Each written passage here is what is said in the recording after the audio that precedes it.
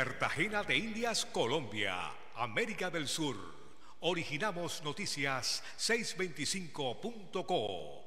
Noticias 625.co. El contenido global de las noticias. Eh, a nivel nacional ha sido la noticia de la extradición del empresario Carlos Mato, quien estaba en España y había sido solicitado en extradición por el gobierno nacional para que viniera a responder por diversos delitos. Entonces, eh, Carlos Mato ya se encuentra en poder de las autoridades colombianas en medio de su extradición.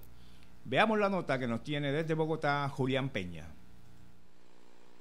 ¿Qué tal? Cordial saludo. Se hizo oficial la extradición del empresario colombiano Carlos Matos, quien llegaría a Colombia desde España luego de que la Audiencia Nacional del país europeo aprobara esta diligencia. En este proceso de extradición, las autoridades en Madrid exigieron que el desplazamiento hacia Colombia se hiciera con el acompañamiento de un médico. De esta manera se materializó la extradición del señor Matos, a quien se le ofrecerán todas las garantías de seguridad y será un juez el que determine su lugar de reclusión.